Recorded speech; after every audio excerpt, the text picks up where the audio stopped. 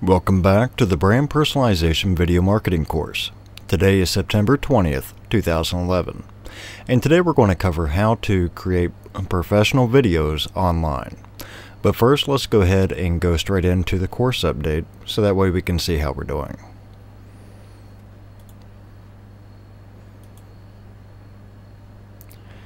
Okay, now here on the channel,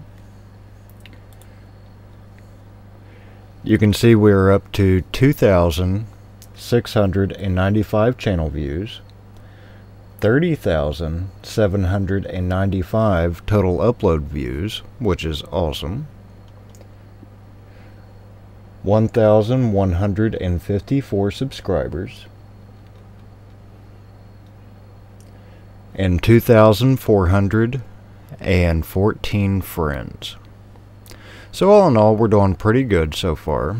And as far as the 50 day, I mean 50k 30 day challenge, crushing it.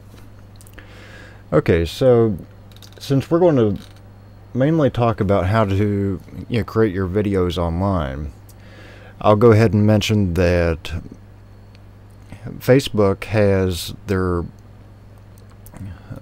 their own um, you know, free tools for you know creating videos.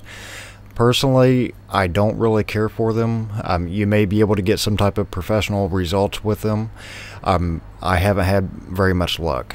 Rule of thumb that I go by is if it's free, then it's going to be open to the masses.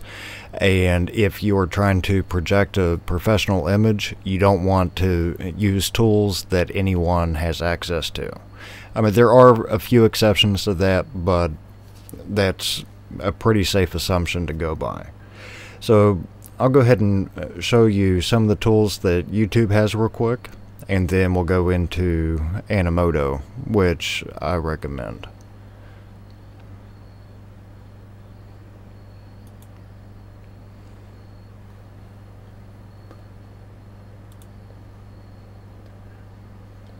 Okay, there's a few tools here. Each of them do their own thing. Um, some are animating pictures, some are making a cartoon. So, you know, I would recommend playing around with them, you know, just to, you know, get an idea of, you know, what you can do and maybe you can actually have some good luck with them. Um, the way that you get to these is just go to your videos section and then um, there's a tab for create video. Now, over at Animoto.com, um, you, basically they have a very basic editor, but it's very simple to use. So that's why I'm recommending them because you can still get professional results, you know, without really knowing what you're doing. So just to give you a quick example, I also run the brand for um, MVPprints.com which is a personalization company for licensed sports prints. So this is a quick video that uh, um, I created to, you know, show people, you know, with um, Pittsburgh Steelers. So basically, I did add text, which was this box, and the the main text is the top text It's a little bit bold and it comes up first and then the subtext which you don't really have to use but I still prefer to basically comes in as a transition after and it's a little bit smaller. So basically I just added text a couple times and then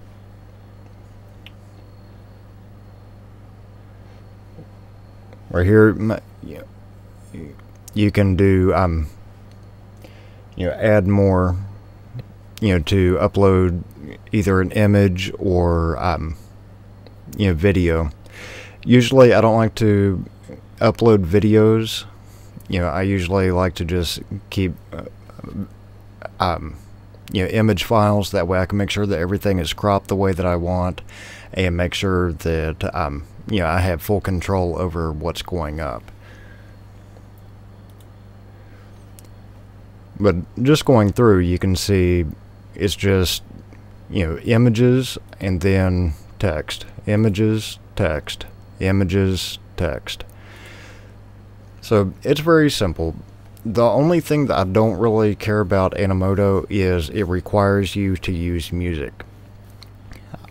I would never upload a video to YouTube with any music because where you don't own the rights to it, there could be copyright issues. Um, even though they own the library, if you don't have you know specific rights in writing, there could be issues. So what I would recommend is either use some of your own music for the upload section.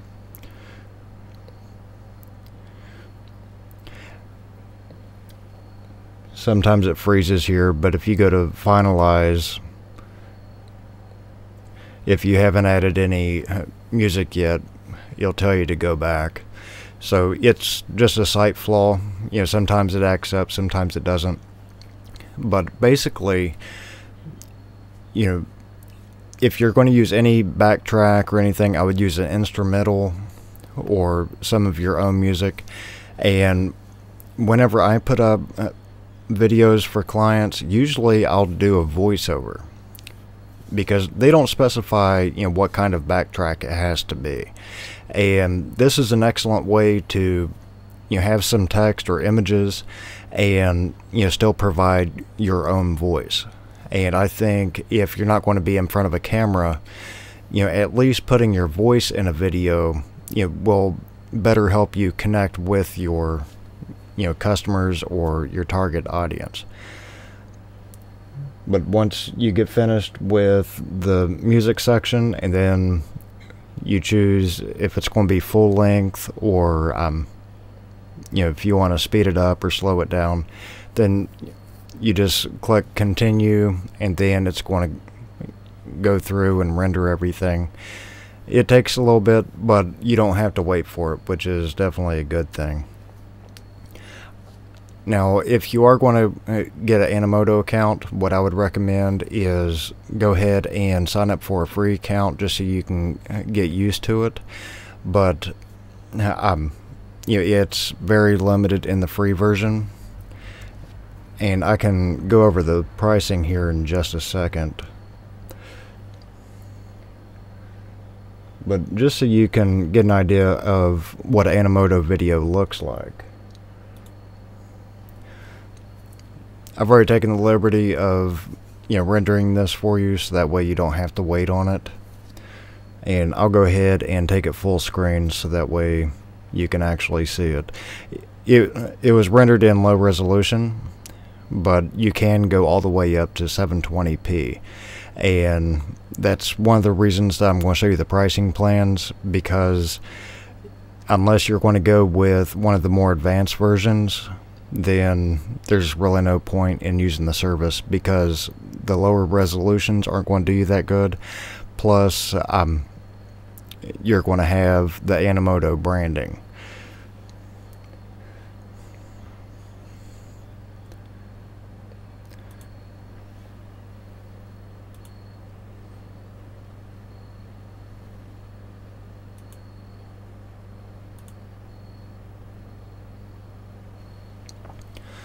Now this just uh, gives you a good idea of you know what to expect with this type of video, and you know this is something that I would definitely do a voiceover with. I wouldn't just you know have some music or something. I would be explaining what the product is, and for product demonstrations, this is an excellent way to you know put out a professional video, you know that looks nice and classy. It still you know demonstrates what it is, what you can do, you know, things like that.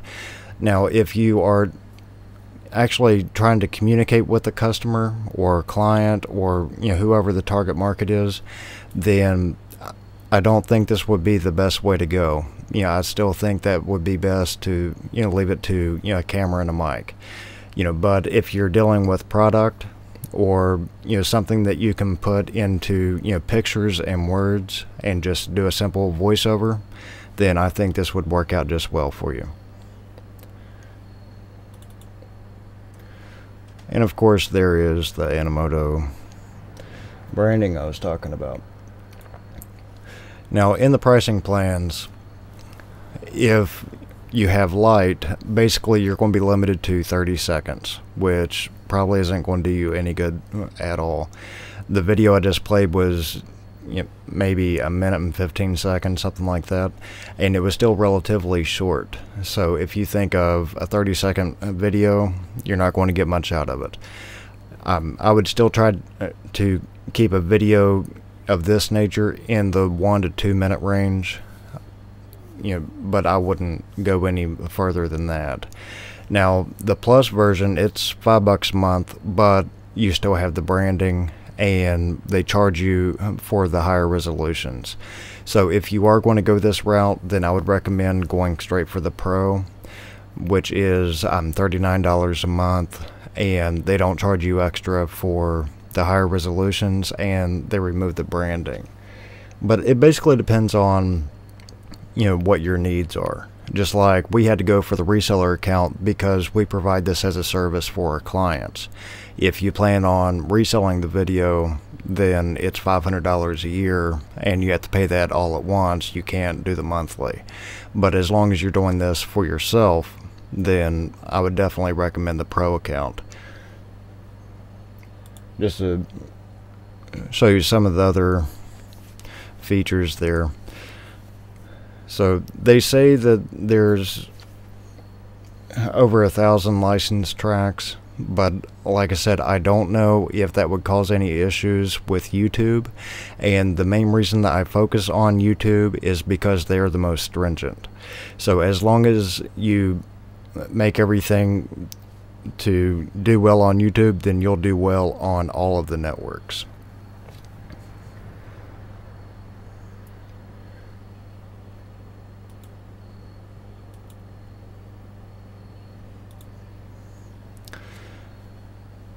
And we are back.